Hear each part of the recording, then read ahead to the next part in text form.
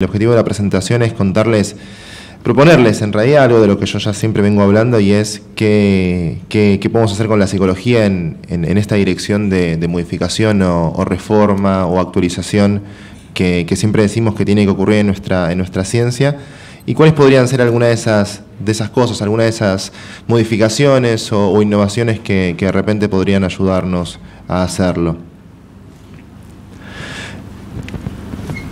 Cuando me pregunto, me preguntan qué pasa cuando los psicólogos y los tomadores de decisión en políticas públicas o los policy makers se encuentran, qué sucede, ¿no? Me, han preguntado muchas veces este, y, quería responder a esto de manera, gráfica. Pero esta foto es un poco, un poco vieja, ¿no? Eh, tendríamos que ver, esto pasaba hace tiempo, ya ahora no sucede lo mismo. Ahora ya la situación ha cambiado eh, los psicólogos se llevan mucho mejor con los policymakers. Bueno, no, efectivamente no es así, es, una de las cosas que, tenemos que cambiar, es una de las cosas que, tenemos que modificar. Y cuando nos cuestionamos entonces cómo podemos modificar la situación actual, eh, tenemos que tener presente esta idea de que lo primero que queremos eh, es que la psicología mantenga su estatuto científico, ante todo, porque si algo nos impulsó a nosotros fue eso inicialmente y no lo vamos a a, dejar.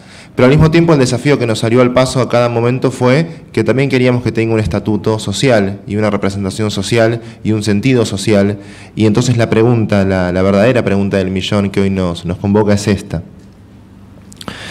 Eh, entonces pensamos en, este modelo que yo les decía en la inauguración que lo que nosotros hacemos acá es algo así como teoría en, en acción con este evento y pensándolo de ese modo, eh, si nos cuestionamos cuál es el modelo que está detrás de la organización que, nos sostiene, la realidad es que es un modelo que llamamos científico-social y que nos motiva a hacernos preguntas que apuntan a poner en cuestión cuál puede ser, por ejemplo, el balance entre el rol científico y el rol social, cuál puede ser ese punto medio entre la validez científica y la relevancia social de lo que investigamos, y también algo que decimos es muy importante, cómo complementar la investigación que hacemos con eh, acciones de relevancia social, muy en la línea de lo que decía Nadine hace unos minutos, eh, diferentes cosas que pueden agregarse, que pueden sumarse, por ejemplo, a la publicación de artículos, a las actividades que realizamos profesionalmente, para lograr una mejor cercanía con la sociedad.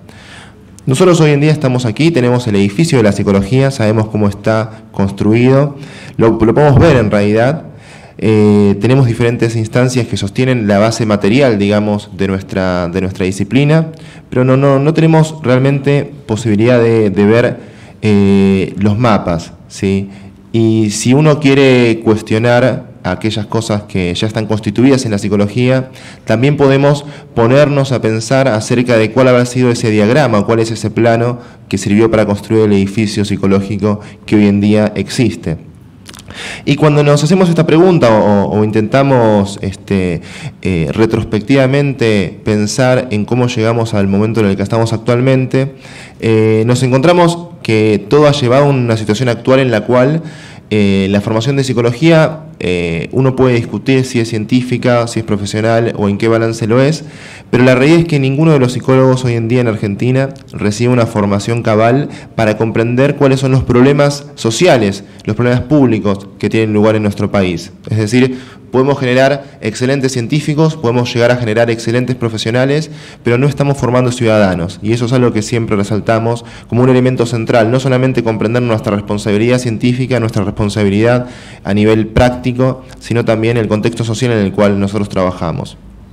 Y esto lleva entonces a que la psicología esté bastante ausente casi de todos los proyectos de desarrollo nacional, como se conversó en, unas, eh, en varias de las eh, exposiciones previas y conferencias previas también.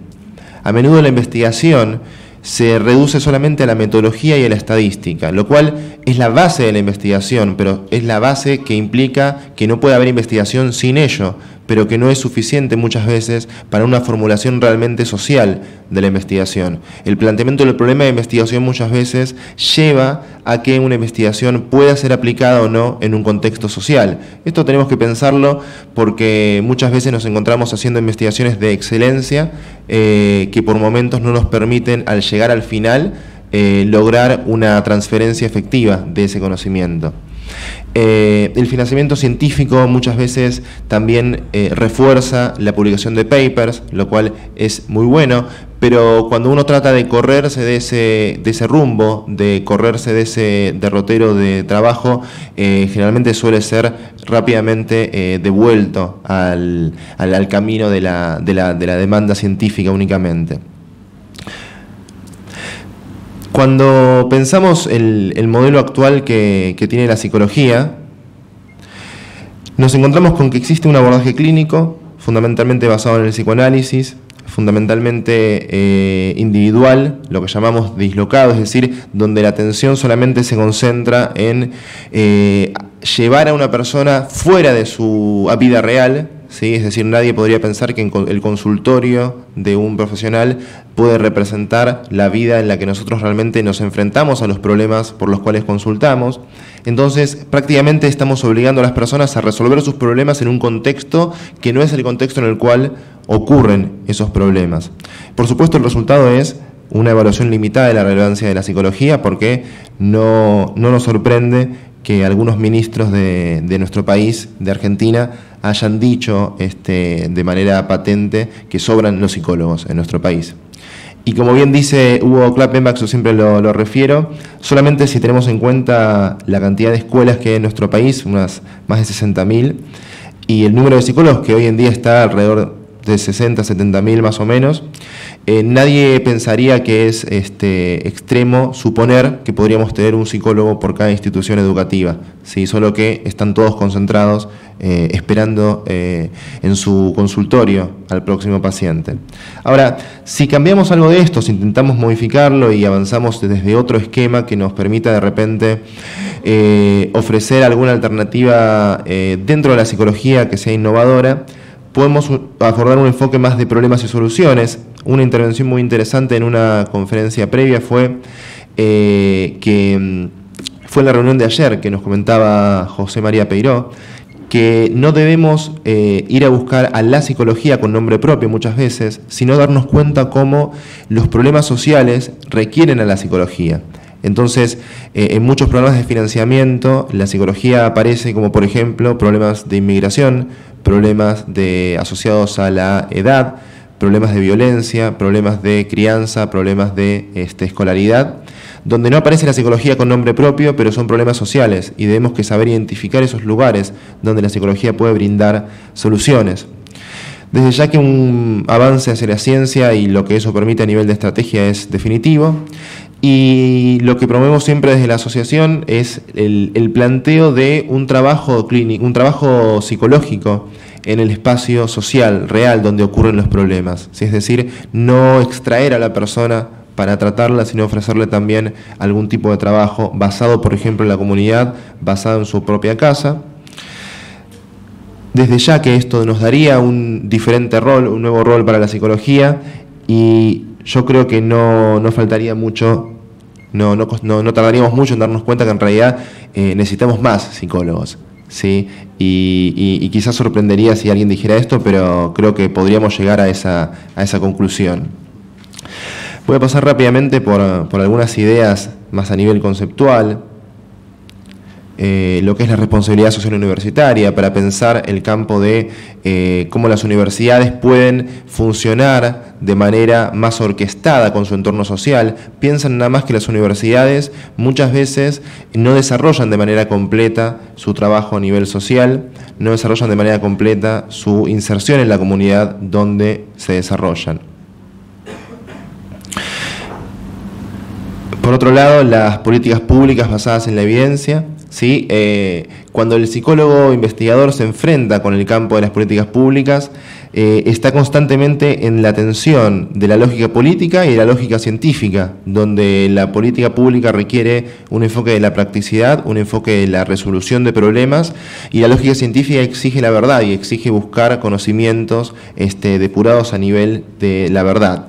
Eh, y eso nos muchas veces nos pone en la atención que a menudo eh, directamente detiene cualquier proceso de cooperación. Entonces, pensar esta, esta dicotomía, yo ahí coloco algunos textos que son realmente muy importantes para pensar el uso de la evidencia dentro del contexto de las políticas públicas, eh, nos permitiría a los psicólogos alcanzar una mejor flexibilidad para darnos cuenta cuál punto medio puede existir al respecto de esto.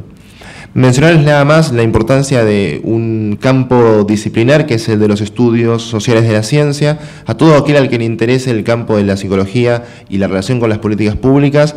En estos eventos, en estos congresos, tuvimos la suerte de que en, agosto se realizó el Congreso Internacional aquí en Buenos Aires. Eh, nos encontramos a muchísimos eh, investigadores que se dedican específicamente a indagar la relación de la ciencia y la sociedad. Estuvimos trabajando en este evento, algunas de las personas que comparten con nosotros, Catriel, por ejemplo, nos acompañó allí eh, poniendo a la psicología, porque son estudios de la ciencia, y antes hablaba Nadine, eh, son estudios que por lo general investigaban a la física, a la biología, a la medicina, eh, y estamos hoy luchando para que también la psicología forme parte de esa ciencia que estos estudios abordan. ¿sí? voy a pasar rápidamente esto. Y ahí estamos. Cuando nos enfrentamos hoy al modelo de, que existe en, esta generación del conocimiento y la transferencia del conocimiento, por lo general lo que suele pasar es que eh, efectivamente tenemos investigación básica, eh, pero uno muchas veces asume que la investigación básica automáticamente genera técnicas o siempre genera técnicas y que luego esas técnicas van a permitir responder a las necesidades sociales. Yo siempre digo que la metáfora que a veces uno maneja con la investigación básica es la idea de que tenemos como una biblioteca, una gran biblioteca de, textos que cada investigador eh, a partir de sus papers alimenta Ah, y que luego cuando uno está trabajando simplemente tendría que fácilmente acceder a alguno de esos textos para poder aplicarlo, para poder ponerlo en acción. Sin embargo, lo que suele suceder es que cuando estamos en, nuestra práctica profesional, y, esto es algo muy común, eh, nos encontramos con que eh, en esa biblioteca hay muchos textos que tratan sobre el tema que nosotros trabajamos, pero que no nos dicen nada sobre cómo trabajar mejor, y esto tiene mucho que ver con el rol de las revistas especializadas en la difusión del conocimiento. Entonces, en cierto modo, lo que tenemos que tener presente es que este, e, e, este modo en el que se desarrolla la psicología eh, funciona también como un corset para todo lo que queremos transformar. Entonces, para, para ir finalizando, ¿cómo podemos de repente repensar alguna de estas cosas que nos al mismo tiempo transcurren cotidianamente en nuestra vida, pero que cuando nosotros queremos llegar a una transformación, del mismo modo que Nadine recién hacía recomendaciones, nosotros también tendríamos que reflexionar al respecto para ver qué forma podríamos llegar a conseguir de modificarlo o por lo menos de moderarlo. Hablábamos de la dedicación full time como un objetivo único para el desarrollo de la carrera de investigación. Esto es algo que parece, eh, que parece que haya sido siempre así y que deba seguir siendo siempre así. La idea de que uno solamente puede hacer investigación seria si se dedica full time a la investigación, lo cual en primera instancia denigra muchísimo a cualquier tipo de investigación aplicada y muchas veces a la investigación clínica también, donde uno puede ejercer y al mismo tiempo trabajar investigando sobre, ese, sobre esa misma base clínica. Y esto ha generado, y todos los que trabajamos en psicoterapia basada en la evidencia, sabemos que hace muy difícil desarrollar modelos de psicoterapia basados en la evidencia en Argentina, porque uno como terapeuta y practicante no podría ser, por ejemplo, investigador de carrera en CONICET, lo cual limita absolutamente cualquier modelo basado en la evidencia para la práctica clínica por empezar, y para toda la práctica en general. Y eso es un eh, gran mito en realidad, la idea de que solo se puede hacer investigación si uno es investigador full time. Uno puede dedicarse part-time, si es serio, si es sistemático y lo puede hacer, eh, yo creo que debería explorarse. Falta de investigación, falta de políticas públicas, falta de, exposición a los problemas sociales, era algo que también eh, aparecía. Entonces, quería contarles rápidamente tres modos en los cuales podríamos tratar de organizar un poco todo lo que nosotros hacemos cuando investigamos. Por empezar, podemos hablar de una investigación académica. Yo creo que la investigación académica es efectivamente aquello más parecido a la investigación básica, donde el conocimiento es un objetivo, donde la curiosidad es lo que guía nuestras acciones. ¿sí? Uno perfectamente cuando hace investigación académica no tiene que rendir cuentas a nadie, no debería tener que rendir cuentas a nadie, es, el, es el, quizás el, el objetivo científico de excelencia, por llamarlo de algún modo, generar conocimiento solo por el hecho de generar conocimiento. Esta investigación se discute y se evalúa entre pares dentro del mismo campo científico y obviamente aquí la metodología y la estadística constituyen la principal fuente de regulación. Ahora tenemos aquello que es la investigación translacional, Nadine ya explicó muy bien la idea de traducción, la idea de llevar un lenguaje, adaptarlo a otro, poder llevarlo este, a los oídos de alguien que lo entienda. Cuando yo lo entiendo necesito traducirlo para que los demás también lo entiendan. Este conocimiento eh, se transforma ya en un medio, un medio en una institución, un medio en un hospital, un medio en una escuela. Eh, es discutida y evaluada en contexto. Aquí lo primero que aparece es que uno comienza a sentirse incómodo porque ya no solamente está entre pares, sino que por ahí está en una escuela y tiene que discutirlo con la directora, tiene que discutirlo con los docentes, tiene que discutirlo con los alumnos. Si uno tiene que empezar a abrir ¿sí? ese campo, de, ese, esa torre de marfil de la investigación científica, tiene que empezar a bajar y llegar a la comunidad, llegar a las instituciones. Y aquí comienzan a ser necesarias las competencias profesionales, ¿sí? más alineado a esto que yo decía antes, de que si uno solo hace investigación full time, y está solamente trabajando en investigación y deja de atender pacientes, deja de hacer práctica, deja de encontrarse con aquellas cosas que suceden en la cotidianeidad de la profesión, comienza a hacer investigación eh, que es mucho más difícil de aplicar luego por las personas que practican. Y esto es algo que pasa en psicoterapia como pasa en todos los campos de la investigación. Y finalmente la investigación estratégica, que es aquella investigación que directamente pone al conocimiento como un soporte, un soporte de las políticas públicas. Esta investigación estratégica es la más difícil de manejar. Yo recién les hablaba de la tensión que existe entre los investigadores y los políticos cuando nos exigen practicidad, nos exigen resultados, ellos quieren votos, nosotros queremos conocimiento, nosotros le podemos ofrecer una investigación moderada, ellos quieren la solución para poder activar su campaña política tenemos que incorporar competencias sociales, competencias políticas, competencias de negociación. Cualquier investigador que interactúe con un político, sin esa capacidad, sin esas competencias, eh, podría terminar rápidamente este, a las trompadas. ¿Sí? porque generaría mucha tensión, mucho conflicto y todos los que hemos pasado o los que han pasado por experiencia también comparten lo mismo, situaciones muy incómodas, muy incómodas, donde uno está eh, justamente teniendo que negociar en un contexto muy, muy este, abrumador también. Entonces, tenemos un lugar para todos, ¿sí? Ah, un lugar donde estos tres modelos nos podrían permitir investigar científicamente, Podemos trabajar, por ejemplo, el concepto de motivación desde un punto de vista académico. ¿sí? La pregunta básica, curiosidad, ¿qué es la motivación? ¿Sí? Aquí lo importante es conocer los antecedentes de investigación en el campo de la motivación. ¿Qué se ha investigado? ¿Cuántos papers hay? ¿Cuál es el estado del arte en este campo? Es absolutamente suficiente para hacer investigación académica en temas de motivación. Ahora, si pensamos en la motivación como un campo traslacional, nosotros estamos, por ejemplo, pensando aspectos de Aplicación en el aula, el comportamiento en el aula de los estudiantes, de los alumnos. Acá tenemos que conocer no solamente a la motivación como un constructo teórico de la psicología, sino que tenemos que empezar a saber algo acerca de cómo funcionan las escuelas.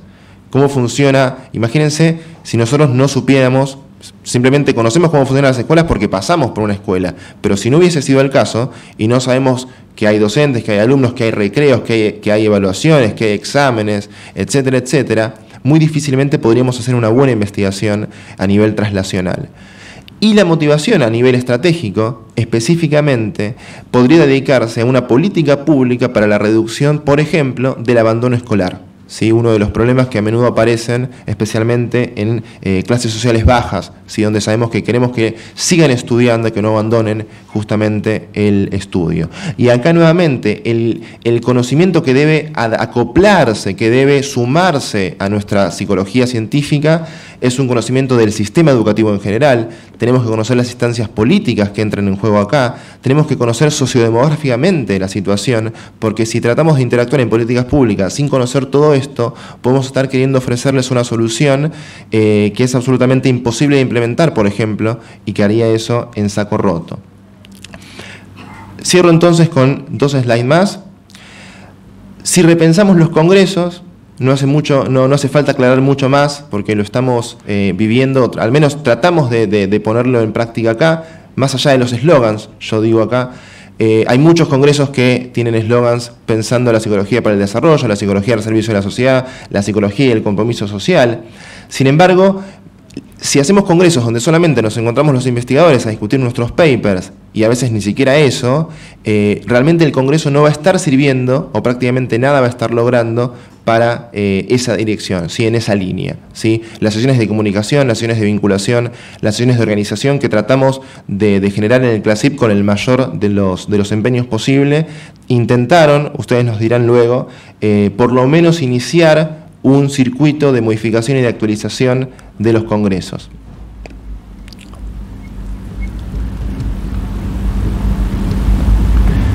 ¿Problemas? Estamos, sentimos que nos caemos en algún punto, que, estamos este, a punto de, resbalar del risco. Ah, no, o en todo caso pensemos en, algunas soluciones. ¿sí? Básicamente creo que la, explicación se desprende por sí misma. ¿sí? Ah, se discutió fuertemente la acreditación de psicología y creo que debemos agregar la posibilidad de incluir asignaturas que aborden problemas sociales. Existe solamente en la Universidad de Mar del Plata una asignatura que cubre ese aspecto y en ninguna otra carrera de psicología la tenemos. Entrenamiento para la comunicación pública, ya apareció esto. Métricas de investigación, de evaluación que incorporen el impacto social apoyo a los programas de vinculación, de comunicación y reconocimiento al trabajo de vinculación.